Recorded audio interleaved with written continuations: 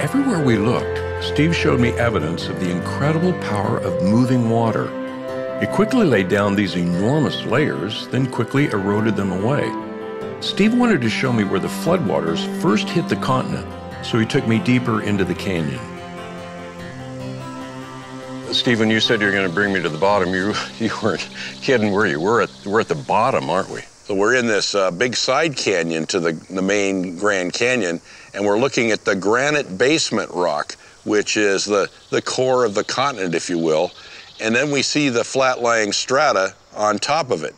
The boundary between the granite rock below and the Tapeats sandstone above is this surface we call the Great Unconformity.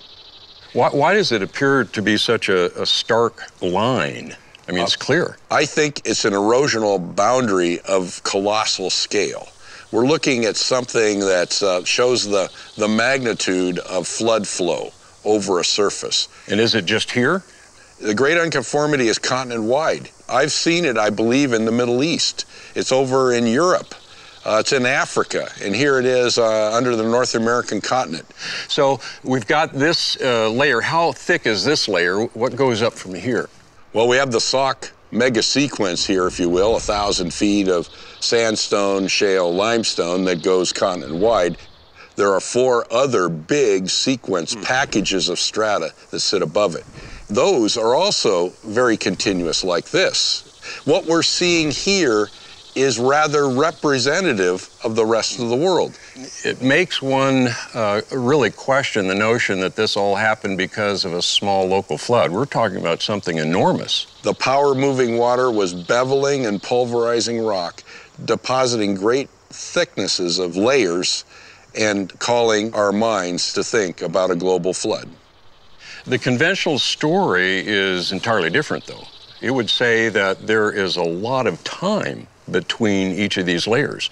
Some people have said that the great unconformity boundary here represents half a billion years. You mean between the granite we see and that first layer of the sedimentary rock? Yeah, they say that there may be half a billion years there.